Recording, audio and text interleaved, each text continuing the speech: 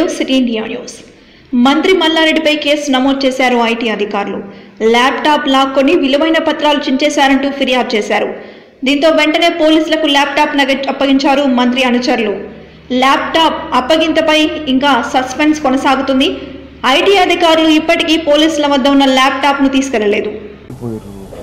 మా కొడుకు రూమ్ లా. ఎంబడే మా వెనక వాళ్ళు మా అటెండర్ ఎవరో తీసుకొని వచ్చి ఆడ పోలీస్ స్టేషన్లో అప్పచెప్పారు ఏం ల్యాప్టాప్ ఏముంటది వేరే ల్యాప్టాప్ అని చెప్తున్నారు. సేమ్ అలాంటి ల్యాప్టాప్ ఆయనే ఉంది కదా పోలీస్ స్టేషన్ చూసుకో ఆయననే చూపిమను. ఐటీ అధికారినే చూసుకోమన్నారా అది వేరేదా అదేనా? కాదా? మేమైతే ఆడికి వచ్చిన బ్యాగు ల్యాప్టాప్ వాళ్ళు తెచ్చిచ్చినాం. అరే మాకు మాకు జర. మోసం జరిగింది. అలా వంద కోట్లు బ్లాక్ మనీ రాసుకురా. అది ఎంత మోసం? ఎంత ఇది బాధ అనిపిస్తుంది చెప్పు. మనకు తెలియకుండా ఒక పేషెంట్ దానికి పోయి రాసుకుంటే ఎట్లుంటుంది చెప్పు. మళ్ళీ రేపు కాబట్టి సైన్ పెట్టినామంటే ఇరికిచ్చినట్టే కదా. మేము దానికోసం ఉరికినా ఊటా ఊటినా.